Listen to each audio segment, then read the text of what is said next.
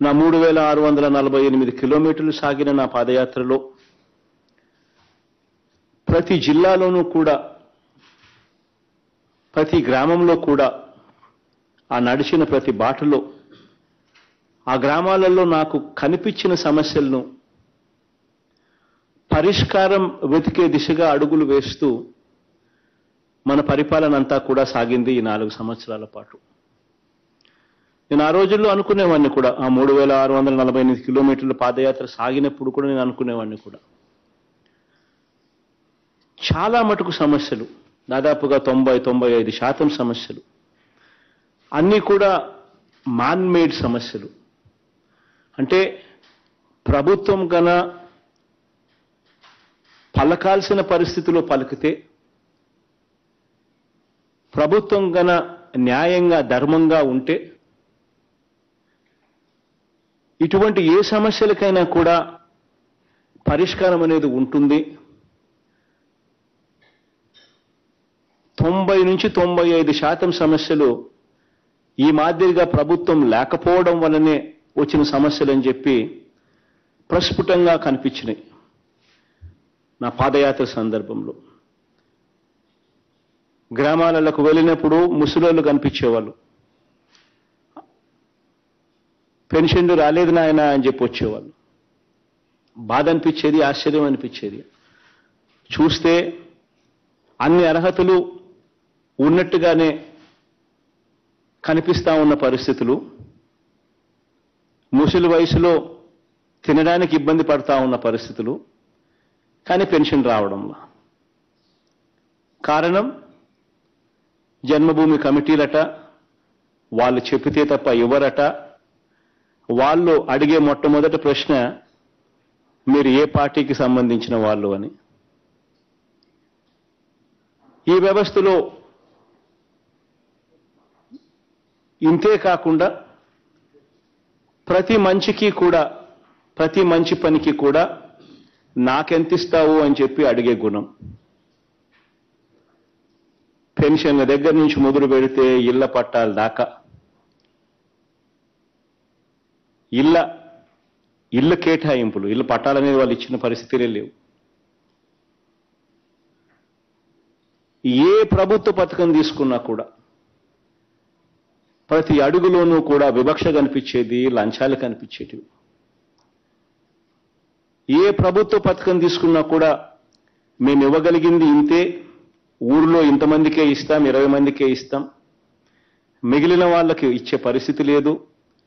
ఎవరైనా కూడా వీళ్ళల్లో ఎవరైనా కూడా తప్పుకుంటేనో చనిపోతేనే మిగిలిన వాళ్ళకు వచ్చే పరిస్థితి అని ఊరిలో ఇంతమంది ఉన్నా కూడా అంతమందికి ఇవ్వాలన్న ఆలోచన ఏ పొద్దు లేదు.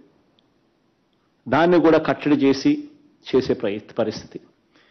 ఇవన్నిటి కూడా మనకంతా కూడా నా సుదీర్ఘ పాదయాత్రలు ఇవన్నీ కూడా చూసి ఏదైనా కూడా ఒక వ్యవస్థలోకి అర్హత ఎంతమందికి ఉంటే అంతమందికి ఇచ్చే పరిస్థితి రావడం ఏదైనా కూడా ఒక వ్యవస్థలోకి మన పార్టీ తన పార్టీ అని చెప్పి తేడా లేకుండా చూడడం ఏదైనా ఒక వ్యవస్థలోకి లంచాలు వివక్ష లేకుండా ఇవ్వగలగడం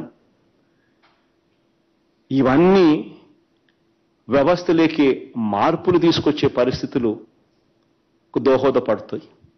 దాదాపుగా తొంభై నుంచి తొంభై ఐదు శాతం సమస్యలు ఈ రకమైన వివక్ష లంచాలు లేకుండా సాచురేషన్ పద్ధతిలో ఇవ్వగలిగితే గ్రామ స్థాయిలో ఇవ్వాలి అని తపన తాపత్రయం చూపించగలిగితే అన్ని సమస్యలకు పరిష్కారం దొరుకుతుంది అని గవర్నెన్స్లో ఎప్పుడూ కూడా జరగని విధంగా మార్పులు తీసుకొచ్చాం. ఈ నాలుగు సంవత్సరాలు మన పరిపాలన కూడా ఆ రకమైన అడుగులే కనిపిస్తాయి. గ్రామ వార్డు సచివాలయాలు కానివ్వండి ఏకంగా ఆ గ్రామానికి ప్రతి రెండు వేల జనాభాకు ఒక సచివాలయం ప్రతి యాభై ఇళ్ళకు ఒక వాలంటీర్ వ్యవస్థ ఎవరికి ఏ సమస్య వచ్చినా కూడా చెయ్యి పట్టుకుని నడిపించే పరిస్థితి. ఏకంగా బెనిఫిషరీస్ లిస్ట్ అన్ని కూడా సోషల్ ఆడిట్ కోసం డిస్ప్లే చేస్తూ సచివాలయాలలో చూపించేట్టుగా పెట్టడం. ఒక వ్యవస్థలోకి ఒక లంచాలు లేకుండా వివక్షకు తావు లేకుండా ఇవ్వగలిగే ఒక గొప్ప వ్యవస్థ గ్రామ స్థాయిలోకి తీసుకొని రావడం. ఈ వ్యవస్థలే కాకుండా రైతు భరోసా కేంద్రాలు కానివ్వండి విలేజ్ క్లినిక్స్ కానివ్వండి ఫ్యామిలీ డాక్టర్ కాన్సెప్ట్ కానివ్వండి హాస్పిటళ్ళలో వైద్య సేవలు కానివ్వండి పిల్లలు చదువుతా ఉన్న బడులు కానివ్వండి చివరికి రెవెన్యూ డివిజన్లలో మనకు రోజు కనిపించే సమస్యలు కానివ్వండి.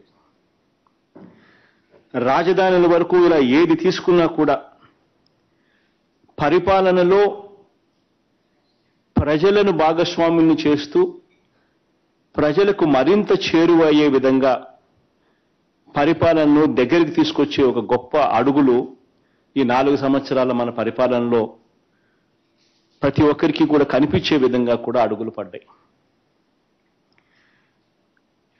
ఈ మాదిరిగా ఒక వ్యవస్థలోకి మార్పులు తీసుకొని రావాలని ఈ వ్యవస్థలోకి లంచాలకు చోటు లేని వ్యవస్థను తీసుకొని రావాలని వివక్షకు తావు లేని వ్యవస్థను తీసుకొని రావాలి అని చెప్పి దేశంలో కూడా ఎక్కడా కూడా జరగని విధంగా మన రాష్ట్రంలో ఎప్పుడు చూడని విధంగా విప్లవాత్మక అడుగులు వేస్తూ వచ్చాం. అందులో భాగంగానే స్పందన అని చెప్పి ఒక కార్యక్రమాన్ని తీసుకొచ్చాం. ఇప్పటికే స్పందన ద్వారా గ్రీవెన్స్ రిడ్రెసల్ను ఏ ఒక్కరికి ఏ గ్రీవెన్స్ రిడ్రెసల్ ఉన్నా కూడా గ్రామ సచివాలయం నుంచి కలెక్టర్ల దాకా కూడా ప్రతి ఒక్కరూ కూడా దాంట్లో ఇన్వాల్వ్ అయి సమస్యలన్నింటినీ కూడా పరిష్కరించే ఒక మెకానిజంను కూడా అందుబాటులోకి తీసుకొచ్చే కార్యక్రమం కూడా చేశాం. ప్రజలకు ప్రభుత్వం నుంచి ఒక హక్కుగా అందాల్సిన ఏ సేవ అయినా కూడా ఎక్కడైనా కూడా ఎవరికైనా కూడా అందకపోయినా కూడా అలా బాధ్యతగా అందించడంలో ప్రభుత్వం నుంచి అసాధారణ జాప్యం ఎక్కడైనా జరిగినట్టయినా కూడా నిజంగా దానివల్ల ఎటువంటి కష్టం అనుభవిస్తారో అంటే న్యాయం ఉండి ధర్మం ఉండి వాళ్ళకి రావాల్సింది వాళ్ళకి రాకపోతే ఎలాంటి బాధ వాళ్ళు అనుభవిస్తారో తెలిసిన ప్రభుత్వంగా ప్రతి అడుగు కూడా ముందుకు వేస్తూ వచ్చాం.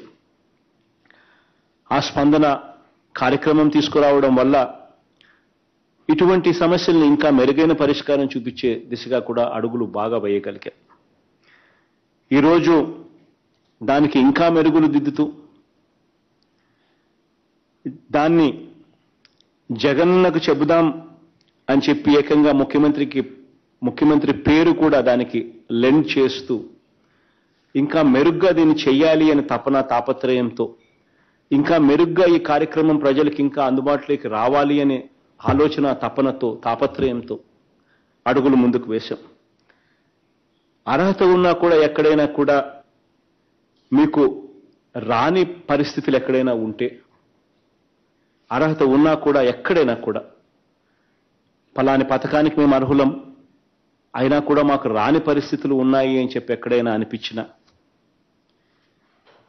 న్యాయం మీ వైపున ఉన్నా కూడా ఆ న్యాయం మీకు జరగని పరిస్థితులు ఎక్కడైనా కనిపించినా. ఇంతకు ముందు మీరు ప్రయత్నం చేసినా కూడా ఆ ప్రయత్నం సత్ఫలితం ఇవ్వని పరిస్థితులు ఎక్కడైనా ఉన్నా కూడా. ఇలాంటి